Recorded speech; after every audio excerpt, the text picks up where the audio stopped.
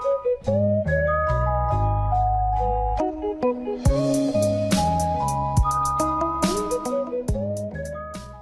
In this video, I will be showing you guys how to set up melonDS on your computer. So melonDS is a Nintendo DS emulator, currently on Windows and Linux, both of the 64-bit versions, but this was supposedly being made for PS Vita as well.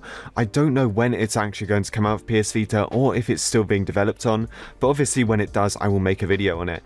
Anyway, I'm just going to show you how to set up for Windows. It's a pretty good DS emulator, one of the best ones you can get.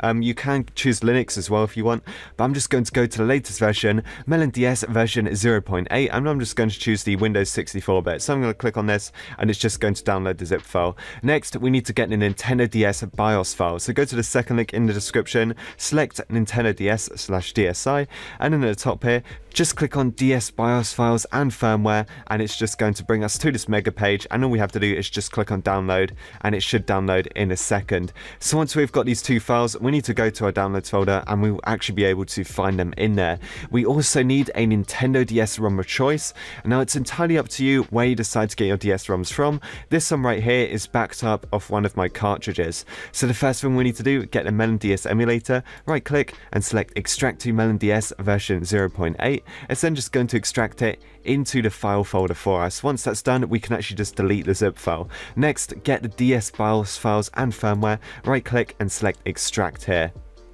Now we actually need to rename some of these BIOS files to get them working. Get the um, this one right here, the BIOS NDS um, 7.rom. Right click, go down to rename. You want to remove the DS bit, and where it says ROM, you actually want to change this into bin, and then just press enter, and then just click yes. Do exactly the same thing to 9 as well. So where it says NDS, completely delete that, backspace that out, and change ROM to bin instead. Press enter and then yes. And then what we're going to do from here is drag everything, including our ROM, and we can put it inside of the melonDS folder. Now double click on this, and as you can see, everything is in here. We want to double click on melonds.exe.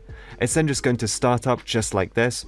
So it's pretty simple. We've got the file tab. This is open ROM, save state, load state, and quit. You can save the game on this. We've got system, where you can just click on run. Um, this is basically when the game's actually running. We've got config, so we've got emu settings. If you click on this, um, as you can see, it's not really in here. It's not much in here. It just says boot game directly. We can click on OK. We have got input input configuration. This is where you can learn how to use it on your keyboard, or you can add some kind of controller, like an Xbox controller or a PlayStation 3 controller. We can click on OK. Um, we've also got hotkey config, video settings. Um, I'd probably leave everything how it is. You can change the resolution if you wish to. Uh, we've got audio settings, Wi-Fi setting, basically everything that you would have on normal DS and more because you can change all of these screen settings and stuff like that. So it's a very simple emulator, but it's one of the best ones. To play your game, all you have to do is go to File, Open ROM, go and select your ROM. So mine is in the folder. Here on this, I've got this game. This is actually a horror game. I'm just going to click on Open and it's just going to load up just like this. So I really like this emulator really simple, really easy to set up, and it works really well. As you can see, the graphics currently are very good. For the touchscreen, you simply just click with your mouse. Um, the sound works and everything like that. I'm using the keyboard, so I can use the arrow keys and enter. Let's just start up a quick game and just test how this works. It should work perfectly fine and everything like that. Um, this horror game actually looks very cool. Um, I've never really seen horror games like this on a DS, so it looks pretty crazy. And of course, because it's on your PC, the graphics are just going to be, you know, a hundred times better. Um, it's just going to look really nice.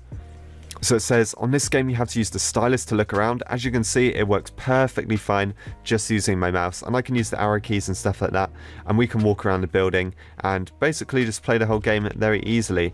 So yeah, you can use an Xbox controller for this if you wish to. It's entirely up to you what you decide to play with. I'm fine playing with mouse and keyboard. I think it works kind of well. And yeah, so that's pretty much it for this video. This is how you quickly set up the melonDS emulator and get it working on your PC. You can also follow along if you have Linux. So yeah, that's pretty much it for this video. If you guys enjoyed, make sure to like and subscribe, and I will see you guys in the next one.